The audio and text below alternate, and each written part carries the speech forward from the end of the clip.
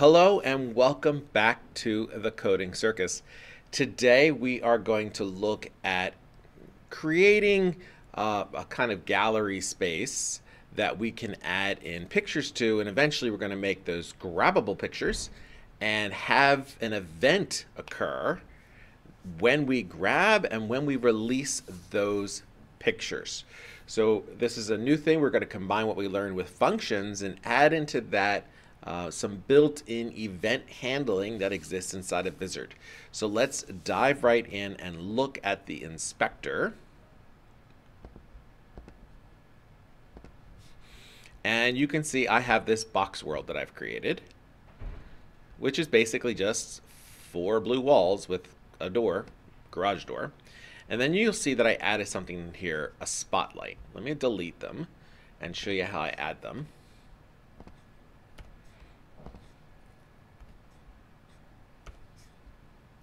So what you do is you go up here to create and then click light.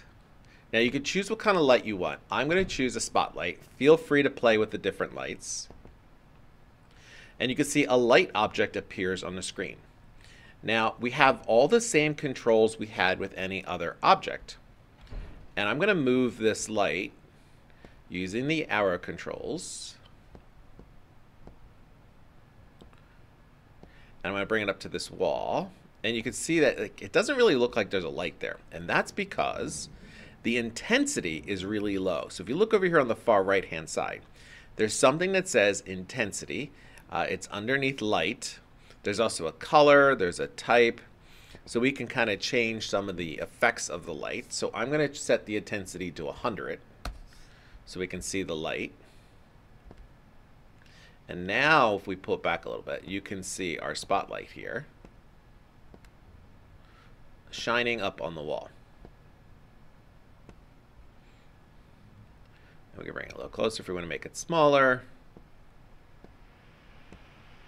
There we go. Kind of fills up the whole wall there.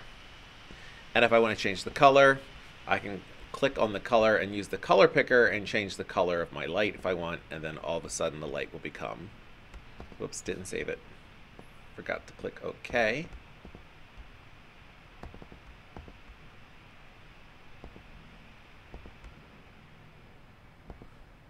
There we go. You can see how the color's changing as I click on these different lights. The blue light. We can change all the different colors. We're going to go back to kind of like a just plain white light. Okay, I'm going to hit cancel. So we have our, our spotlight. I'll show you what some of the other looks look like. This is directional. It kind of just lights up the entire wall. This is a spot. This is a point light, uh, which kind of sets light in spots kind of all around um, the room.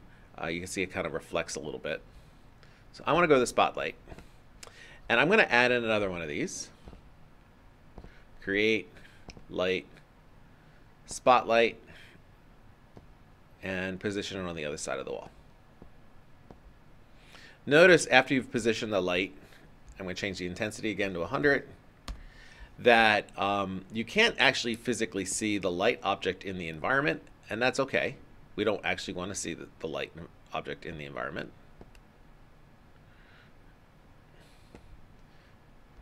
other than that white thing there. And when we actually run it in Vizard, um, we won't see our spotlight object just kind of floating in a world. The only thing that'll be on the wall is the light.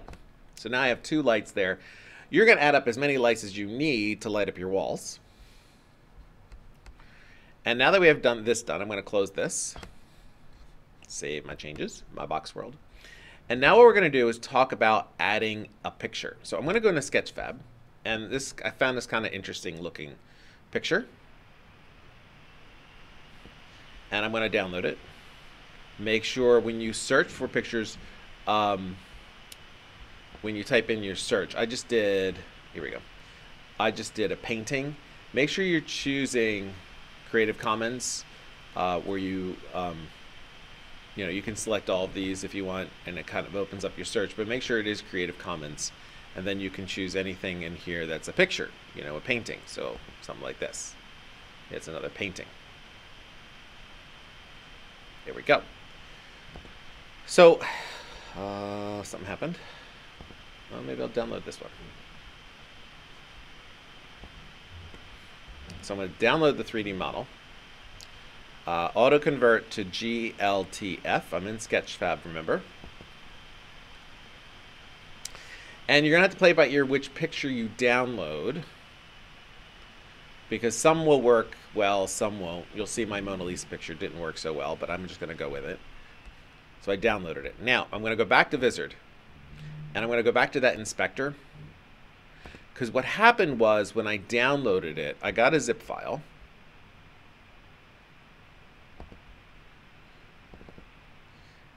And um, as it's downloading, still downloading. And in the zip file are a whole bunch of other files. Actually, I'll do this with the Mona Lisa while it's downloading. And the problem is that I don't have a great way of adding that into Vizard with all those different files. Fortunately, I can use the inspector and add just add the picture into the inspector. Oh, it looks like it downloaded. Oh, there's the zip file. So I'm going to unzip it.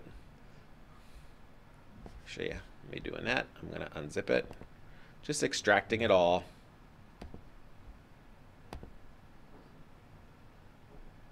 There we go. Okay. So now I have my folder where I have my painting and I'm going to add my scene into Vizard. So the only thing that's going to be in the scene is this painting. There it is. I'm going to position a little bit better because it kind of sits like weird. So I want to raise it up using my positioning tools. Kind of bring it up. And then I think I want to rotate it a little bit so that way it's facing me when it first goes into the scene like that. There we go. So now I'm going to go to File, Export as a single file. And, um, wow, I'm just going to, I'm just going to call this by the guy's name, ZDZ ISLAW dot OSGB. Save. Okay. Now I'm going to go back into my Vizard. And one of the things that we learned how to do was after we added our environment, environment viz fix.addChild, box world, and I got my message there, which we're going to get back to in a little bit, we learned how to add a child in code by using a variable. So this is the name of the file I was using. I'm going to set up a variable name for this. I'll just use the same There we go. This is law. And I'm going to use this viz.addChild command. And it has the position and scale in it that will position it on the screen.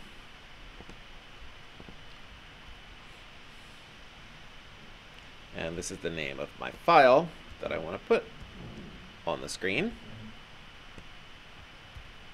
Like that. Now, you might want to choose a position that makes sense and a scale that makes sense. You might have to do some experimentation to see where it goes. Right now I know this is um, going to be right on top of the Mona Lisa, so I'm going to move it to the actual other side by using a negative value, which will flip it to the other side of the screen, theoretically.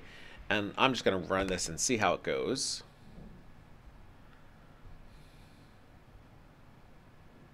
It's going to take a second to render. And there it is. So it's a little small. I probably want to make it bigger. The Mona Lisa I had to make smaller. So I'm going to go in and change my scale here. And you could probably do that thing where you add in the person into the environment just to, to match the scale for both. I didn't take that step because it's just as easy to do it here in Vizard. Relaunch.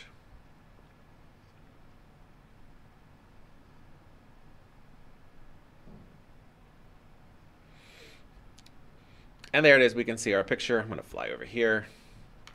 So it's off a little bit. I might want to adjust it so it's better in the spot, but you can see it's on the wall.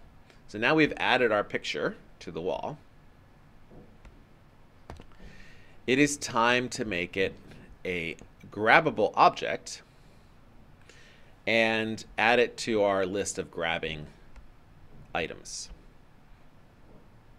So if you remember how we did this before, um, we just had a list that had listed in our grabbable objects. And these are the grabbable objects I had in there before. We had a circus ball and an Arduino, so we're not going to use that. We're going to use Mona and this guy, is this law. Then I set my grabber equal to vizconnect, grab tool, grabber, grab.set items, grabbable objects. And I'm going to give you uh, the empty box room and these two paintings to start to kind of play around with. But you can find your own paintings. And we'll come back to the message in a minute. Clean this up a little bit. Oops, too much. Okay. So now we're going to run this. So if we go back, whoops, what happened? Did I lose my world? Let me try that again, reload it.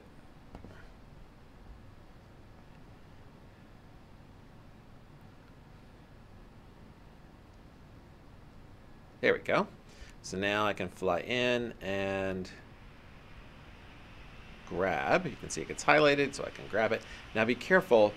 If it's too big, it becomes kind of difficult to grab. You can't see the outline on it. So you kind of have to be careful of that when you're sizing your picture. And then here's my other picture. And you can see the outline, I can grab that. Okay, so now we got a grabbable um, object let's talk about these Vizard callback built-in events. So this is when um, we want to respond to an event that happens in the Vizard world. And Vizard has some built-in events. So for example, when we take our grabber and we grab onto our picture, the grabber.grab event triggers. So it's like a mouse click, only it's not a mouse click, it's a grab event. We're grabbing the picture.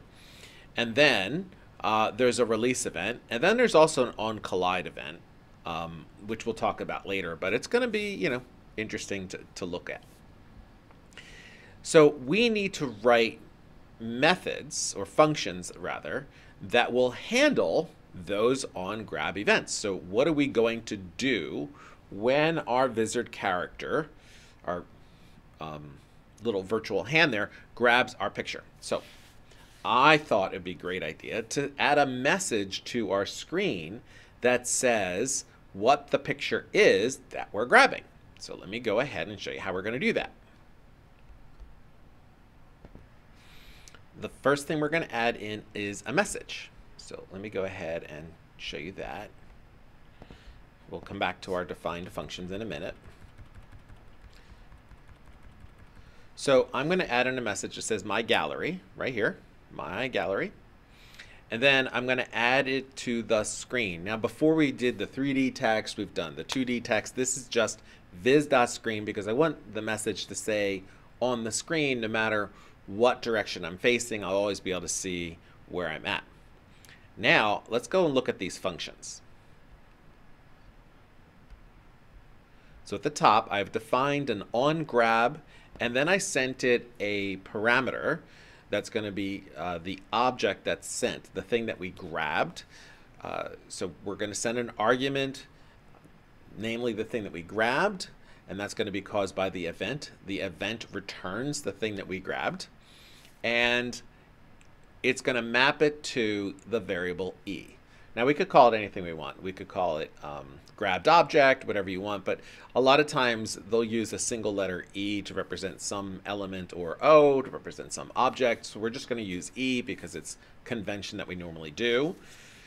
Then I'm going to test it. So remember our conditionals. If E.grabbed is equal to Mona. So if the thing grabbed was Mona, we're going to change the text message to Mona. If the thing grabbed was uh, Zizizlaw, then I'm going to change the message to Dzizlaw. Now, I need an on release as well. So we're going to create another method that says on release. I think I said the gallery.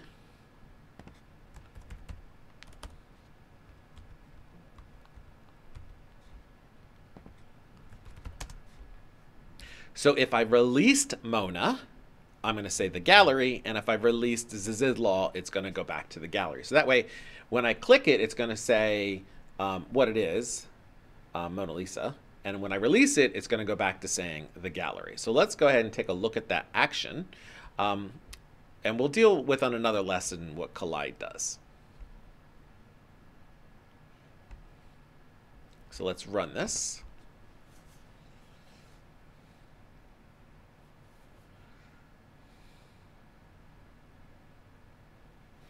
And we can see we have our two pictures up there. I'm going to fly in here, and right now it says My Gallery.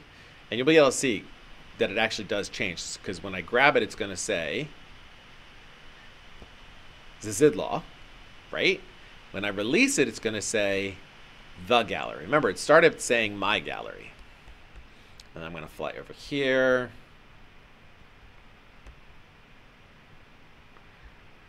I'm going to grab this one. Make sure I get the green box around it. Whoops. Sometimes I do that. Sometimes it's better if you just do full screen. And I can see the Mona. Now, if you want to kind of sit back from the picture a little bit, remember, we have the ability to fly in that hand using two finger drag on your mouse keypad or the scroll bar. And I can do it that way, and it makes it a little bit further away so I can actually know that I'm seeing the picture. And I click it, and it says Mona. And I can kind of look over here and do the same thing with that hand, fly in just a little bit. And then that way I'm keeping my distance a little bit and I can kind of see the picture. And there we go. So now we have our full functionality of our world and we can have a gallery now where when we click on the pictures, it says what is on our picture. That is all for today. I will see you next time.